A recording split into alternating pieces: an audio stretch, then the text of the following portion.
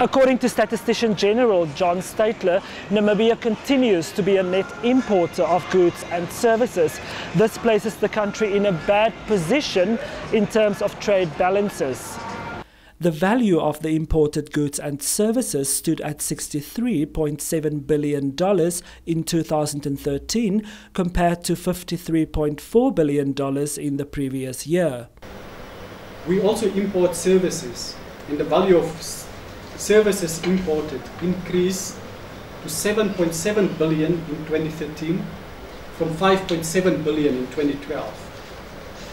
The export value of our goods did not increase that rapidly. It only amounted to 47.9 billion compared to 42.3 billion in 2012. The overall results of the latest developments regarding trade statistics is that the external balance of goods and services worsened from a deficit of 11.2 to 18.1 billion dollars in 2013. The increase in our country's trade deficit is worrying.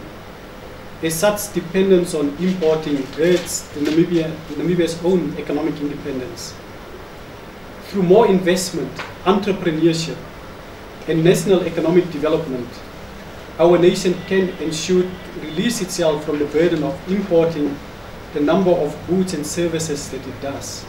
There are plenty of goods that we import, that we currently import, that could perhaps be manufactured or assembled right here in Namibia by Namibians.